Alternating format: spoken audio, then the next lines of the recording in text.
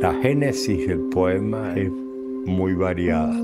Puede ser una palabra escuchada o traída a mi mente por la memoria, una palabra que me seduce de pronto y que por sí misma reclama la presencia del poema.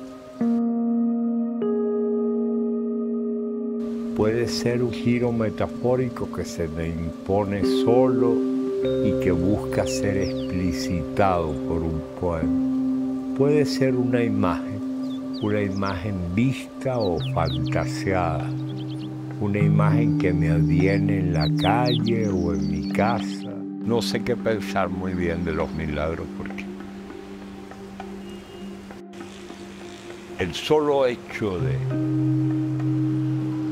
de vivir sobre la tierra como ser humano ya es un don maravilloso. Es una gracia inaudita. En Dios no hay ni sombra de maldad. Dios es puro amor. Es la bondad químicamente pura.